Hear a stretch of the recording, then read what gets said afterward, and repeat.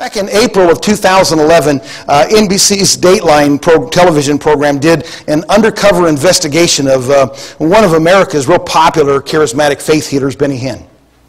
And uh, I remembered that they did the thing. I went online this week and I read the transcripts from that show and a, two, a few other investigative, undercover investigation programs, uh, uh, reports on Benny Hinn. And uh, we're just looking to see what happened. But uh, what we got here in this passage is the very first time someone tried to do a report, find out is, the, uh, is this miracle really real?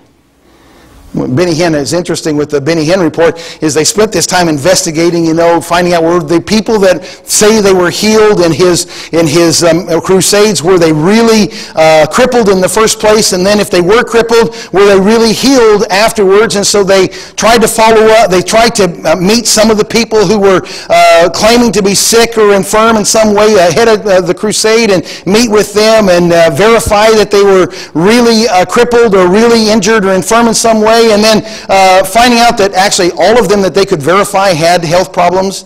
No one that had a verifiable health problem actually was ever allowed on stage, is what they found out. No one who had a verifiable health problem ever was allowed, allowed on Benny Hinn's stage uh, to be healed. Uh, all of them who, who, were, who were allowed on stage were people who claimed health problems but were not verified. And then after that, they went to some of the people who claimed to be healed and they started following up on them. And they only found four people. They could only find four people who had ever been on stage um, after they got off stage and left, the crowd's gone. They were only able to find four people who were real people.